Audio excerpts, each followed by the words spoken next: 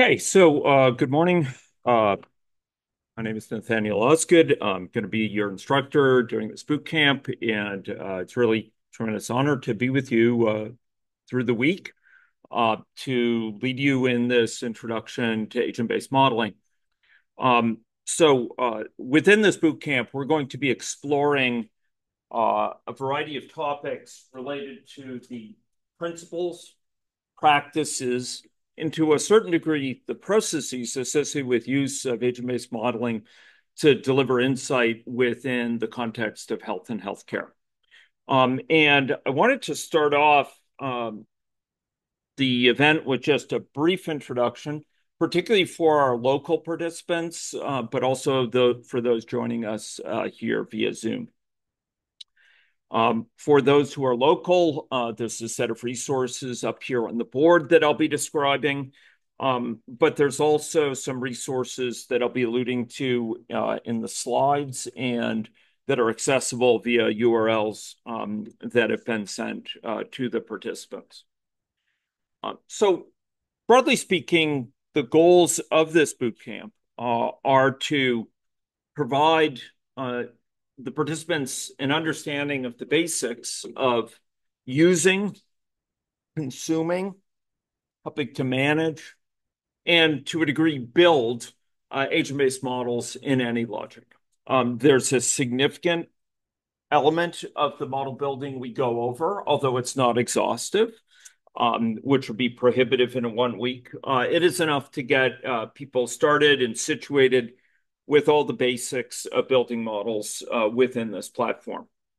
Um, but in the process of doing this, um, and more deeply, we're hoping to convey um, to the to the participants here um, an understanding of where agent-based modeling fits in in the broader landscape of the tools of the health scientist. In the contemporary toolbox, uh, where traditional tools such as uh, statistical analysis, uh, qualitative uh, data analysis have been supplemented by uh, other computational methods, including um, tools such as machine learning uh, in its various forms, with deep learning, large language models um, being amongst those, Bayesian deep learning, and others. And we will talk some about the intersection and situate agent-based modeling within that broader context.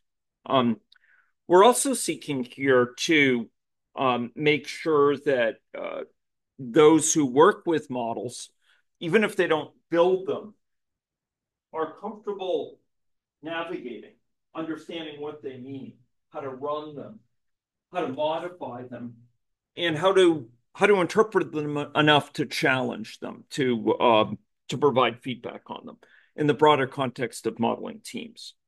Uh, and uh, I am seeking um, for all the individuals within this to to make sure that no matter what your particular goals on your journey into modeling, that you're equipped um, to succeed in that process, and that will be different for different parties.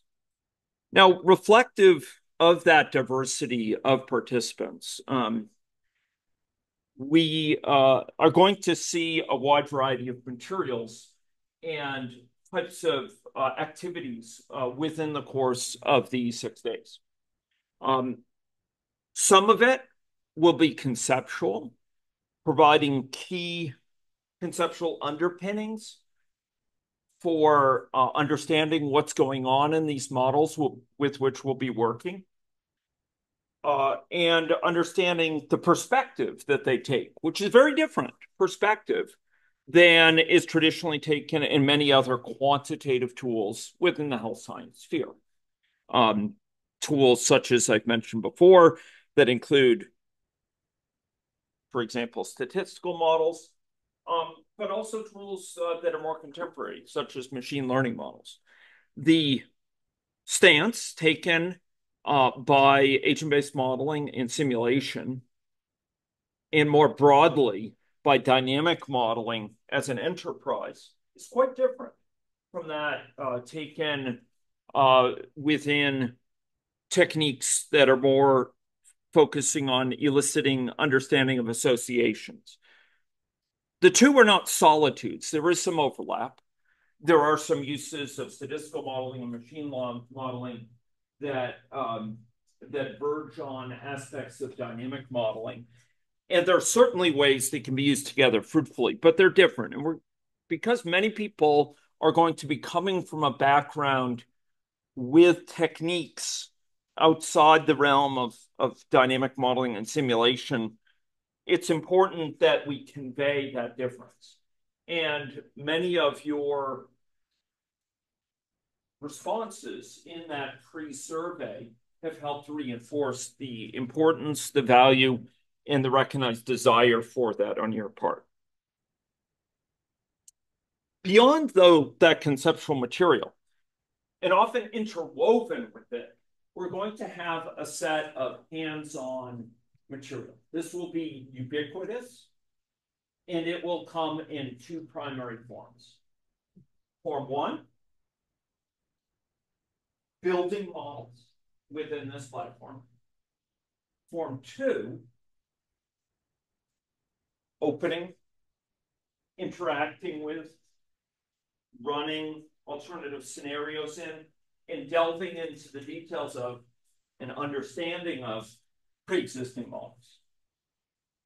And to that end, I've provided close to 100 example models to you in a resource I'll be to which I'll be pointing you in just a moment.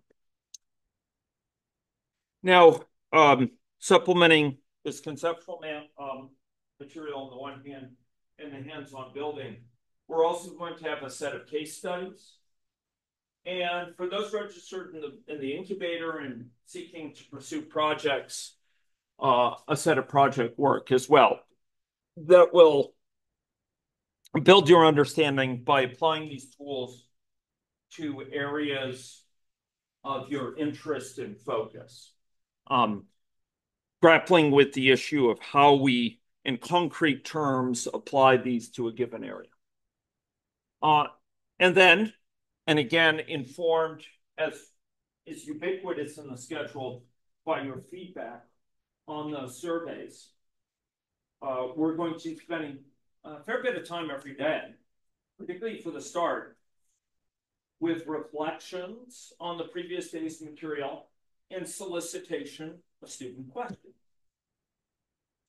where um, I'm seeking and I'm hoping to get in place dialogue uh, regarding uh, some of the material so that we can better can better understand what we've heard and better link it up to your areas of interest. So this, I'm hoping, going to be consistently each day a substantial amount of time for discussion.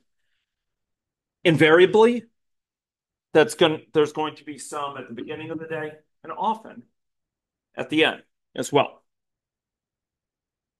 Now, while I took most of the weekend to ensure that I could adapt the schedule to your interests uh, as as participants, as expressed through the responses I got. Um, it's inevitable that this schedule will adapt. Dwight Eisenhower once quipped that planning is everything, but the plan itself at any one time is nothing. Uh, it's ephemeral. But it's the process of creating it, thinking it through, engaging with what the constraints are, what our needs are, that allows it to deliver value, even though at any one time it's inevitably going to be rendered obsolete. And Clausewitz once commented that no plan survives contact with the enemy. Now, the, the participants here are not the enemy, but uh, we will find that the schedule will will evolve a lot, and we're going to see how we're going with progress. Most importantly, I'm going to see how uh, participants uh, feel about the material. If there's areas where you're interested in hearing more, if there's particular examples that you'd like to see explicated more completely. If there are other spheres of interest that you'd like to, in, in which you'd like to see more examples, or more textured uh, discussion, please let me know. I'd be glad to think how we could fold it into the schedule. And already I'm I'm considering some tweaks here and there. So please speak with me and I'd be glad to accommodate things. Um, the goal of this event is to empower you in your journeys. Whatever your background, um, whatever your particular interest in modeling, um, I'm hoping we can help you with that, and a key part of that is bringing um, uh, bringing your needs to my attention. Okay. Um, so a few more words before we launch into some substantial material. Um, as I noted, the boot camp is too short to allow for truly comprehensive uh, coverage of these materials. I do have a full semester course um, that uh, I taught um, two or so years ago for the Fields Institute that got more, a little bit more comprehensive, but at the expense of the central central component for this boot camp of hands-on exercises. We we we didn't feature them enough, and and I'm going going through the thinking to create a second version of that full semester course, which would include lab components and more uh, more, more uh, complete uh, experience in terms of interaction with modules and projects.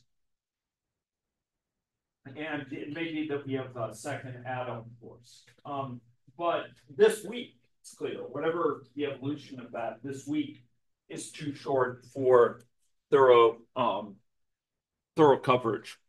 Uh, my my colleague and dear friend Jeff McDonald, who helped um, inspire some of the uh, elements of this material and the structure behind it, once commented to me, um, when it comes to planning these boot camps, the hardest thing is to figure out the 90% that I don't talk about. and that's a bit of an exaggeration, but not by much. Um, truly, um, we're, we're, dealing with the tip of the iceberg, but hopefully the most important uh, part of that. And again, uh, you know, feedback is needed to ensure that that's meeting your needs. Okay little bit more on the nitty gritty side here before we get to conceptual, uh, conceptually substantive uh, material. So one thing is that um, these these talks are recorded. Um, we do have um, uh, we do have uh, recording that attempts to be more or less complete during this boot camp, the exceptions being if there are groups spawned off um, for incubator coverage, we're not recording them. But for lectures, hands-on exercises, reflections at the beginning of the day, discussion, we try to make sure we capture it. And uh, as is written on the on the board here and on the screen here, at this tiny URL, you will find uh, videos accreting through the course. Um, that is, uh, every day I try to post the videos of all the, the different lectures separated by lectures. Um, they're a bit rough and ready. Um, I don't have time to do editing on them to to polish them, but um, they are uh, going to capture much of the material, and they'll be available as far as I'm concerned, in perpetuity. Um, if you if you find that I'm not recording at a certain time, particularly for for the remote participants who are invariably coming to us through Zoom, welcome. Uh, please let me know, and and I will uh, seek to ensure that we record as quickly as possible. Okay, now again, important components here. Um, we have a can you can you folks uh, online still see the slides? I've just dragged the controls over so they don't block this. Are there are there TAs? Okay, thank you, Wade. Okay, so there's a set of core materials for this course to which we'll be returning time and time again. Uh, at these successive URLs, we will have uh, growing collections of materials. Uh, so for the overall collection, you can find it at this ABM Bootcamp 2024. Um, uh, there's a link here to instructor videos, but those are um, what they what they have in substance, they lose in quantity. Uh, there's kind of an ocean of them at this point, probably somewhere between 2,000 and 3,000. Um, the videos from this, I, I mentioned, they're at this videos address. And then we have, for those in the incubator, a course project spreadsheet. This is on Google Sheets. Uh, and if people would like for incubator components. This is this is for in-person folks. Um, so we can pair you up with TAs in the rooms here.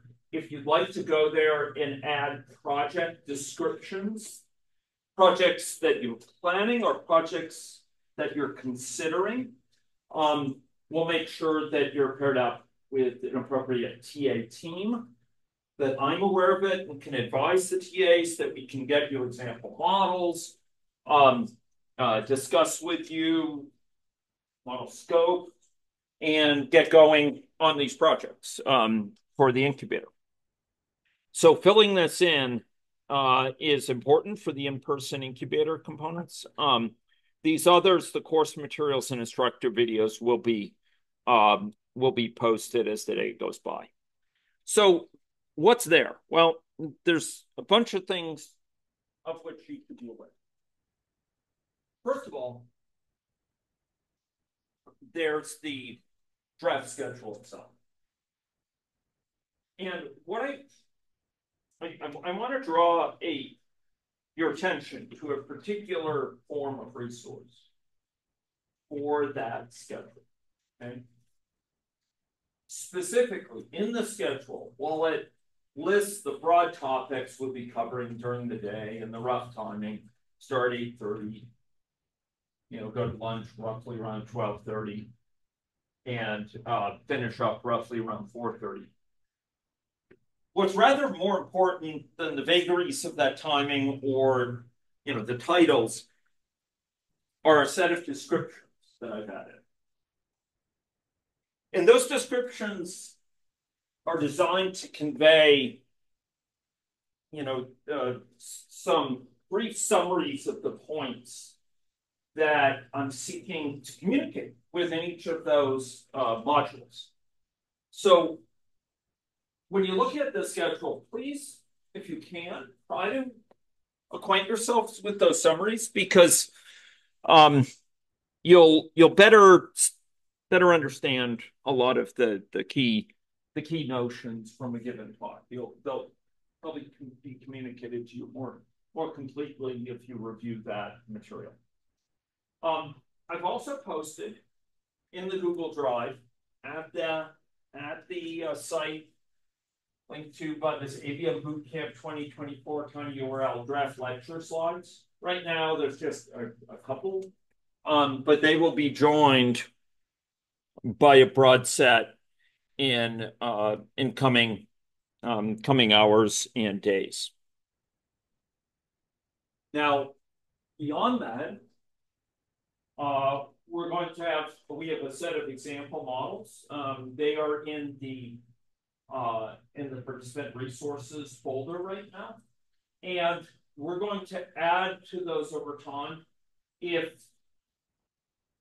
if if I'm careful, I will seek to take the ones we've discussed in class set and and copy them and have a separate copy of them so you can easily refer back to those in class. So you don't have to wade through with no with no uh disservice to our, our TA by that name. You don't have to wade through the uh the broad set of materials, uh the broad set of example models um that um uh, that, that are present because there are many. So there's a set of example models uh, in a sort of a library, and then we'll have a small set, and we'll have a set that we built up live in class that will be curated and where we'll be posting periodically as we build them up so you can you can grab them at any time. So I, I want to highlight this. This is an important point.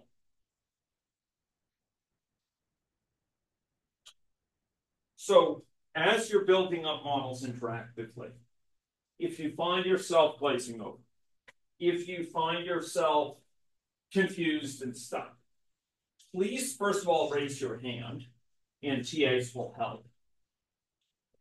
And by hand, I mean both physical hand and online hand. And Wade has his hand up. So sorry to interrupt. Yeah. The student online says when you move away from the laptop, they're using your, uh, Okay, thank you. I um I I really appreciate understanding this. This is the first time we're using this particular microphone, and I will seek to tweak from the settings of this um in the in the next day and figure out how to make it less directionally sensitive. And probably what I could do is do something like this. Um, so um, uh, if uh, I really appreciate that feedback for the online participant. If you could let me know, can you hear me now? At the cost of spreading a meme. Um, can you hear me now? Uh, yes. Yes. Okay. Okay. Uh, thank thank you again. That's important. And I welcome those, those additions to the course there. Uh, we have um, some example code that's uh, provided in a set of background um, sort of guides for those seeking to to get started with AnyLogic, There's a hands-on reference and sort of a, a crib sheet for doing common tasks. Um, and there's some background materials, including pointers to papers and books of relevance, etc. Um, and uh, and yeah, some some reference text. So in the set of resources provided, those should be there already, but in coming days, we'll be uh, providing more specific to this boot camp. Okay, so the roles of teaching assistants here are many. So um, I, I want to communicate this particularly for those who are here in person, uh, because they'll encounter the the uh, TAs here uh, wearing many hats. Okay. In fact, Jen is wearing one right now. Um, so, um, firstly, they will be um, helping in class for problems that you've encountered. And for online participants, again, I want to emphasize, please raise your hand. The TAs will come and, uh, and interact with you online via the Zoom chat. Um, if you require more assistance, we have breakout rooms set up where you can hive off with a TA, share your screen, engage in voice interactions, and hopefully quickly resolve your issue. Okay, so one foremost role the TAs play is to help in troubleshooting. Okay, um, but that's just one of many roles. Um, and uh, they're going to be presenting some case studies. Um, uh, so folks like Jenna we'll be hearing from today, and, and Wade here and Eric uh, uh, will be we be presenting during the week. Uh, they can also help you by explicating some of the models that I that we either build together or or that you find in the library or models to which I refer you because of your interests. Uh, often in a given area, there may be a set uh, to which I'll refer you, and they can help you sort of make sense of those, um, how they work, um, uh, interpret some of the outputs, some of the scenarios, etc. And uh, if you're interested in getting guidance, consultations on applying agent-based modeling and hybrid modeling to your areas, I can't think of a better resource um, than the collective set of TAs uh, who are serving this bootcamp. So um, please, please reach out to them in that capacity. Right. Okay. I have a set of requests that I ask of participants. Um, so if possible, when we're going to start a lecture, try to scan the summary beforehand, even if it's just to skim it. Um, if you don't have a chance to do that, maybe do so after um, the lecture. It'll help you absorb the material better. I've noted the importance of signaling online or, or in person um, that you need help. We're going to be using this platform AnyLogic to build up these models. And there will be times uh, where using typing things by hand will be error prone and will be time consuming. And there's a feature in the software that we'll be demonstrated. And uh, to which I commend you, which is to use autocomplete uh, for the software. It will complete out um, long names that otherwise you might miss time. I'll be coming back to this point again and again, but please keep it in mind. Autocomplete is your friend, and uh, it will often spare you a great deal of time and a great deal of trouble in many cases. Uh, so please ask questions. Um, I would suggest that, you know, this, um, this is for in-person participants. Um, don't be shy. Please be encouraged to be in the front row. Uh, if that will help help you read these screens better. Uh, and let me know if the font size is too small. Sometimes when I'm showing, you know, some details of the computational mechanisms, and I can make it larger. Okay. Um, uh, there are models posted that I'm going to be posting periodically during the exercises. Often in a given exercise, we're building it up. I might post six steps along the way. That takes a bit of time. I'll ask for your patience. But I would suggest, if again, if you're getting confused, or if you've forgotten something and you're not sure what, you can load one of those in and keep on going with it and just elaborate on that.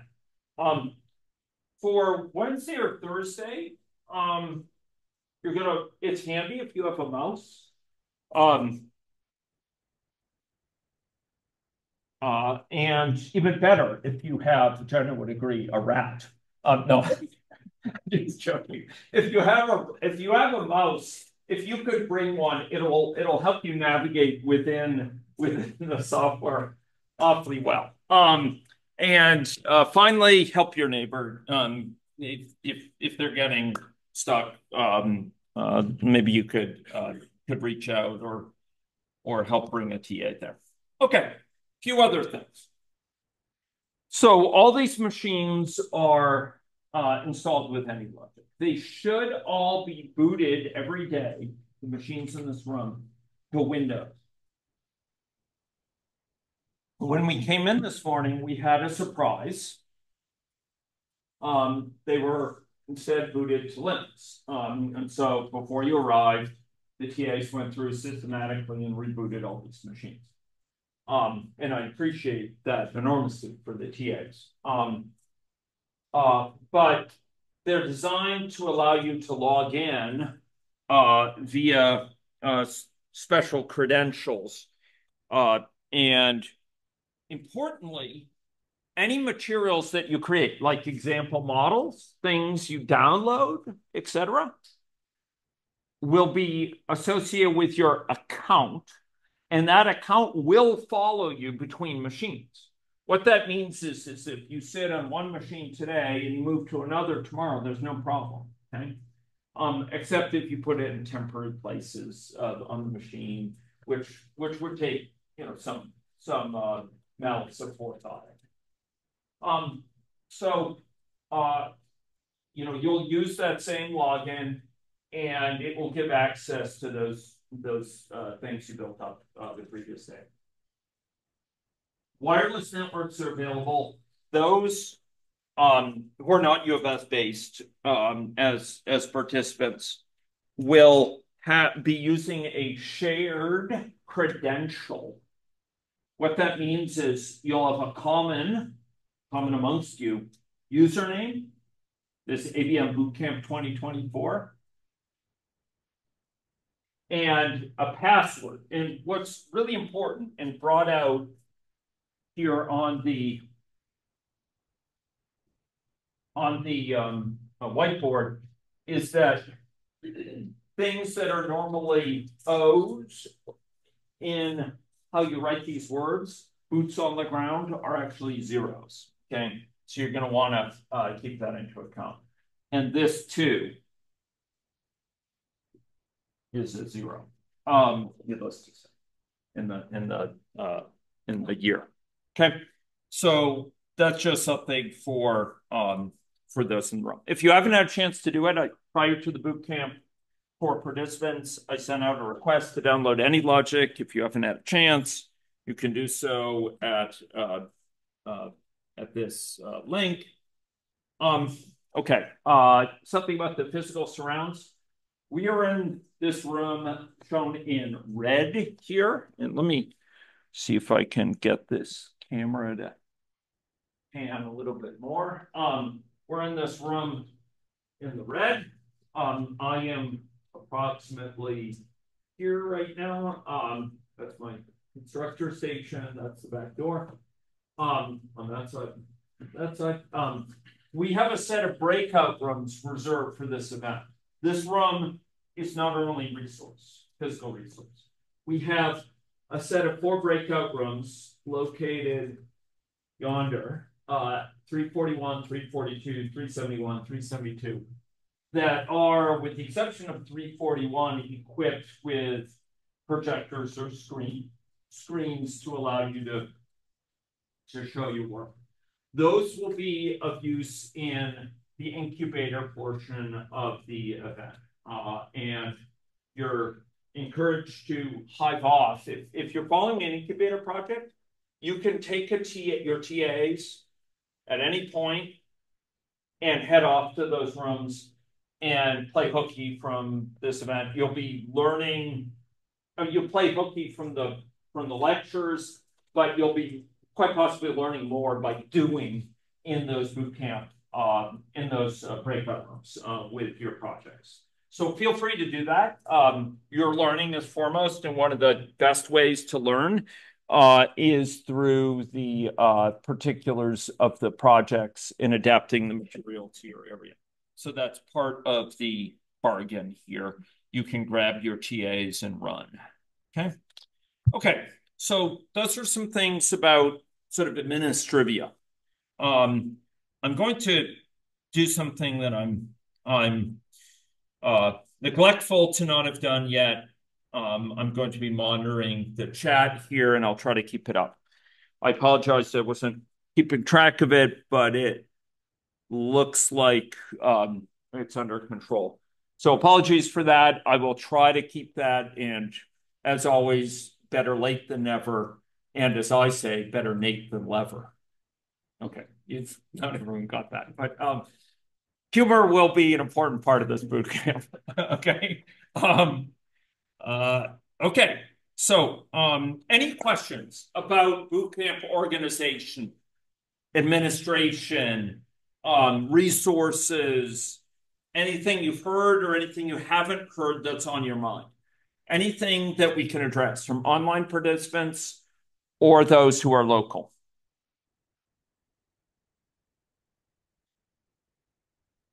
Questions? Okay. Question on day two, but they. Oh, day two. Great, great. Uh, so, uh, Jun Chao, yes, um, uh, day question, day two question. Um, if you'd like to speak up or if you'd like to type in the chat for remote participants, either is good. Can you hear me, Professor? Uh, I can hear you. It's a bit faint. Um, let's use this opportunity to boost the uh, the speaker a little bit, and let's see if we can make the audio work because it will be a an asset. Okay, if you could say something more. Yes, Professor. Uh, you are you come through loud and clear, Jun Chao. Yes, so please. Thank you, thank you. Um, on the agendas in day two, the case study at the end of the day says participatory agent-based modeling. Uh, I just want to understand whether that's the, the participatory part, whether that's uh, from the academic sense of like um, people participate in the conceptualization, development, and implementation of the model. Is that what you mean by participatory here? Yeah, thank thank you for bringing this uh, question to the attention um, uh, to my attention. So um, uh, within so when I've received uh, feedback um, on participant backgrounds and interests, as submitted by that pre-survey. Um, I thought to go through there and, and abstract out some of the major areas of interest. And one, one of the areas that I heard quite frequently in participant, as part of participant interest was um, community-based and participatory modeling. Um, the process of informing a model with the insights um, and sometimes lived experience of people outside the modeling team. Um, those affected by the model, stakeholders and the systems that are being modeled, community members, or people with lived experiences with the sort of conditions um, that are being reflected in the model health conditions, and that you're seeking to to improve, whose health conditions you're seeking to improve. And um, so I I purposefully chose in the in the uh, schedule to feature a few case studies that that discuss this, and to put it on the docket as a potential topic for broader discussion and um, and for uh, for coverage at a more systematic level. Um, so your question is a really good one. You know, um, when we talk about participatory agent-based modeling, um, what's the form that that takes at what stage of the modeling process? Is it in early stage of model conceptualization, model scoping, um, uh, you know, the, the, sort of planning the the extent of the model and, and often group model building is a key component of that. Um, that's a very powerful thing to do that will inform um, a choice of model scope that often is impactful and, and recognizes the um, the reality of the situation on the ground and, and, and people's lived experience or system stakeholder understanding. Um, Jenna will be speaking some about this later today, um, that earlier stage of participatory modeling for model conceptualization. But the truth is, participatory processes, just like patient-oriented processes or um, community engagement, that can be undertaken at many stages of a modeling process. At the point of model formulation, at the point of model calibration and, and early model results, at the stage of discussion of sort of model scenario trade-offs. Um, model testing earlier on as well. All of these are areas where participant engagement can actually be really valuable for different reasons often. Um, for example, early on, um, often it's shaping our understanding, a broad understanding of big drivers in place or barriers that that play an important role in governing the system that we're seeking to model. A lot of fancy terms, but basically we're we're shaping our mental model of the situation in more foundational ways. Often later in the modeling process, we are seeking to get feedback from people that leverages the dynamic nature of the model and specifically model output um, that relates to um, behavior of the model that may or may not comport with, may or may not jive with, may or may not be consistent with the lived experience of particular stakeholders or, or people with that condition. They may, they may challenge that, and that's a success of modeling. Some of you will soon hear from this podium um, me comment on the view of modeling as learning. Um, modeling models represent learning prostheses uh, that help us learn more quickly, more deeply, more reliably. And it's not that they represent the truth, but they help speed us towards the truth. They help us more quickly identify cherished beliefs on our part that just don't, don't add up. And one of the main ways we can do that is, is by models, simulation models, quantitative models, help us put together, capture in the model sort of a theory of our understanding that captures our understanding as best we know and as best related evidence suggests. And then we can run it, simulate it over time and see results that may or may not separately be consistent with what we see in the world or with the lived experience of people or, or system stakeholders. And this is really important because we may look, we may ask those system stakeholders to help us inform our choices of, of, of, of what's in the model scope, or a bit later in the process, help us formulate um, uh, some judgments about how we describe the situation in the world in the model, what's called formulation stage, how we represent stages of, of a condition or what have you. But those are cases where what's in front of them is what they critique directly. Um, it's really at this later stage where we have model output, things that aren't put directly into the model, but rather we don't tell the model that. The model produces that at that later stage, this model output. And often it's counterintuitive. Often it's not something we can anticipate. Often it's not something we we know ahead of time what it's going to do. And sometimes it comports with our experience. Sometimes it is consistent with our um, our experience or those of the system stakeholders or people with a condition. And sometimes it's not. And often getting their feedback there helps us refine the model further. It helps us challenge it, helps us critique it. And that's not a failure of the model. It's a success of the modeling that we bring out that hidden knowledge from people.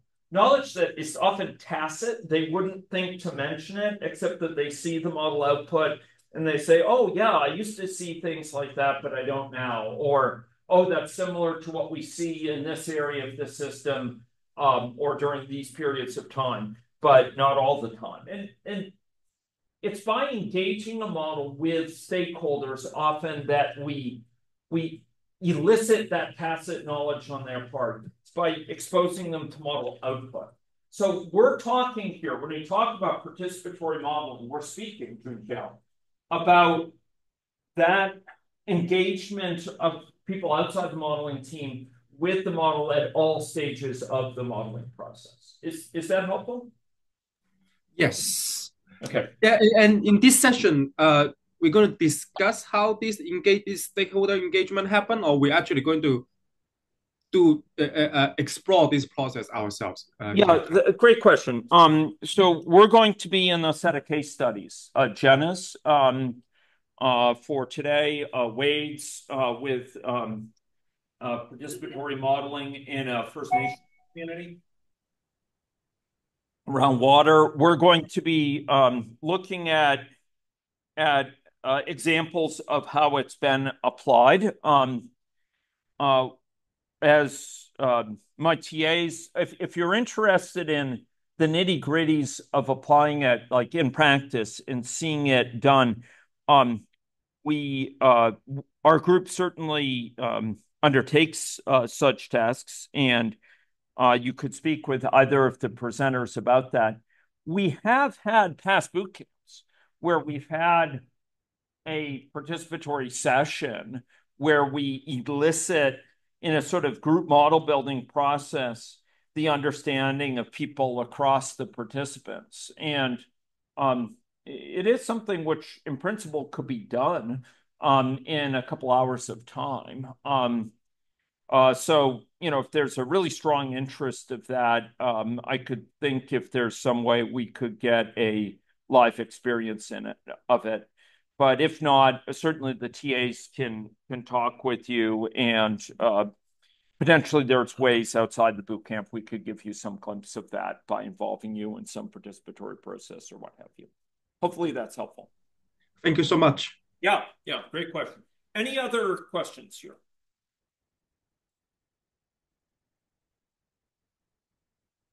Okay. So uh, if there's none, I'm going to stop my screen sharing and uh, we will stop the recording. I see.